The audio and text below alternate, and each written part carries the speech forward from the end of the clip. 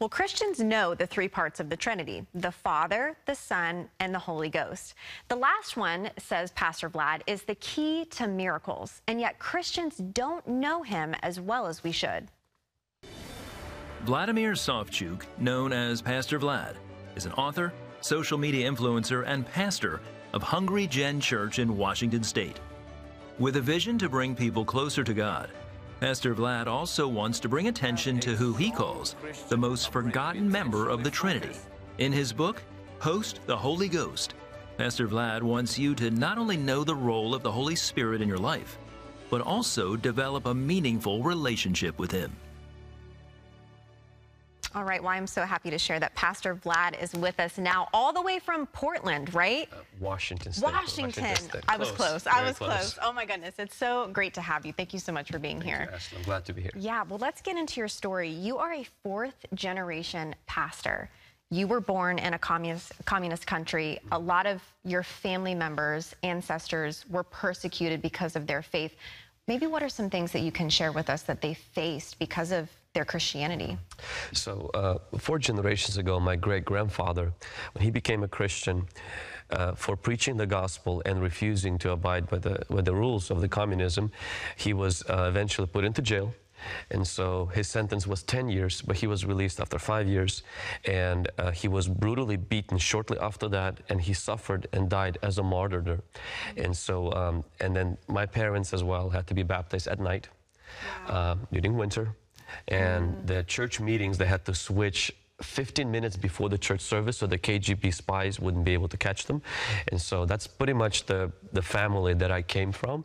And so I'm very fortunate to them to give us that foundation that serving Jesus is not just the blessings, but sometimes it comes with persecution. Yeah, absolutely. Well, when did you come over to the States? How old were you? So I was 13. 13, 13 years of age, and okay. I moved to the United States 1999. Okay, so I'm sure that was a little bit of culture shock for you. Did you speak English at that point? No, I didn't speak any English, and I felt like my whole world collapsed on me because not mm. only I didn't speak English, um, I, because of the optical nerve damage during my birth, I had migraine headaches. Wow. Every time my head get exposed, gets exposed to the sun, I would have really bad headaches.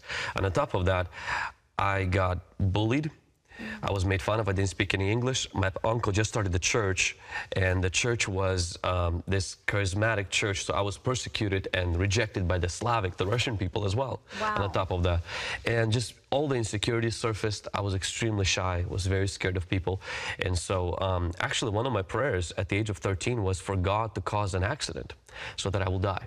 Wow. I really felt like the world would be a better place with me not in it. Mm. But um, thank God that God didn't answer that prayer. Mm-hmm. Instead, I started to get to know the Lord, lock myself every single day, Monday through Friday after school, because I didn't have any friends. Mm. And I would just wail, just pray to God, cry out, complain to Him. and I started to encounter Him in a very personal way. He revealed to me that I'm not what I see in the mirror. Mm. I am what I see in the mirror of His Word. Amen. And my headaches were gone. He healed me supernaturally of my headaches. Wow. And then this self-esteem thing that I felt really bad about myself was really, it's almost like was subdued by His presence. And mm-hmm. at 16, I became a youth pastor. Oh my gosh, 16, 16 years yeah. old. Yeah. And you've been in ministry ever since. since. 16, yeah. Wow. And what is the, the, the name of your church that you pastor it's now? Called, it's actually, I named our youth group Hungry yeah. Generation. Wow. Never thought it's going to be anything. And then the main youth group outgrew the main church by like four times after I got to know the Holy Spirit as a person. Wow. And uh, so, yeah, it's, it's hungry generation. That is absolutely amazing. And you obviously talk about the Holy Spirit is the forgotten member of the Trinity. Mm-hmm. Why do you think that is? I think that because it's the Holy Spirit. You know, when we think of Jesus, we think of either Chosen Jesus from Chosen movie or the yeah. film Jesus. Mm-hmm. When we think of the Heavenly Father, we all have a Father or we know fathers. When it comes to the Holy Spirit, even the word ghost or the word spirit, for many people, their mind goes right away into a dove, oil, wind, fire. And we don't realize is He is a person, He is God, and He is here. Yeah. Jesus ascended to heaven and he said, Another will come who will take his place. We can have the same relationship with the Holy Spirit yeah. that disciples had with Jesus. He's here now. We can have a communion, we can have a relationship with him, but we cannot do that if we keep seeing him as a dove experience, mm. tingling feeling, fire, miracles, power. Yeah. If we see him as power, we'll use him. If we see him as a person, he will use us and we can get to know him. Wow. Well, what was your personal journey? You talk about this in the book, and I believe your wife had a huge part to play in you getting getting to that point of recognizing Holy Spirit as a person. Can you mm-hmm. share a little bit about So that? I grew up in a uh, like an Assemblies of God church. I'm, I'm still part of the Assemblies of God. So I received the gift of speaking in tongues at the age of 14. So that was pretty much my ceiling of getting to know the Holy Spirit. At least that's what I thought. I treated him more like a um, something that I use. I speak in tongues versus a person that I know. When I married my wife, and she would constantly refer to the times she will encounter the presence of God. When I would say encounter the presence of God, I would say, you know, I felt the presence of Jesus, I felt the presence of God. I never mentioned the Holy Spirit. He, I didn't know him personally. She always talked about him like actually someone she knows. And so I was in youth ministry already for about 10 years. I didn't see any growth, Ashley. I didn't see baptisms for a while. I mean, I could count how many people got healed in 10 years on one hand. Um, Things were really stuck. And I felt like I was that lame man in the book of Acts who had legs but didn't walk in them. I had the Holy Spirit. I didn't walk in him. I didn't know him personally. Yeah. And so, in my desperate pursuit to see a breakthrough in our ministry, I went to another country, sowed a large seed. I felt the Lord lead me to do that. And I asked this pastor to pray for me so I can get a breakthrough.